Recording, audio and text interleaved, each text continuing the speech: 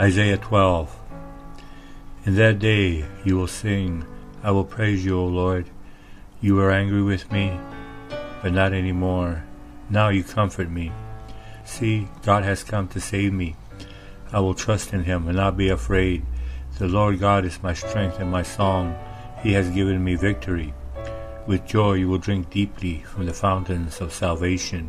In that wonderful day you will sing, Thank the Lord, praise his name. Tell the nations what he has done. Let them know how mighty he is. Sing to the Lord, for he has done wonderful things. Make known his praise around the world. Let all the people of Jerusalem shout his praise with joy. For great is the Holy One of Israel who lives among you.